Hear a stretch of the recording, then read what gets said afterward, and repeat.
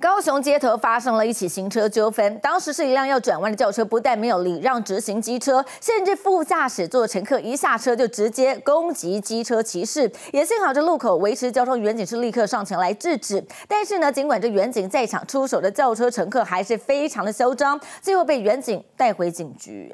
民众的行车记录器拍下一辆黑色轿车停在路口转角，副驾驶座的乘客一下车就怒气冲冲过马路，朝机车骑士的头部攻击。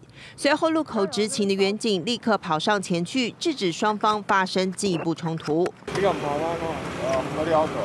啊！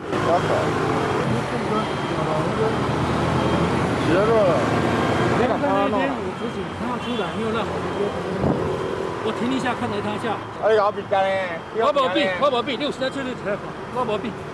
没想到轿车乘客不顾有远警在场，继续对机车骑士抢下。啊，我讲话啊啦！啊，警察，警察，你摆的啊！我我大连大连我讲我我 OK，大连你讲啊，我 OK，我唔会啊。我警察直接处理你较细声好。好，离开啊，而家离开啊，你离开啊，把把带走，把带走。案件发生在十九号上午八点多。双方疑似是因为行车纠纷，转弯轿车不但没有礼让直行机车，车乘客还出手攻击骑士。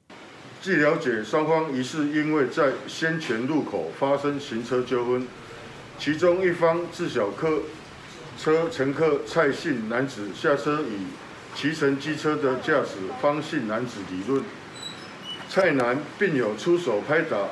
机车驾驶安全帽的行为。由于交工级的歧视提告，警方随即在凤山查获轿车乘客到案说明，全案依照恐吓、公然侮辱罪移送法办。记者综合报道。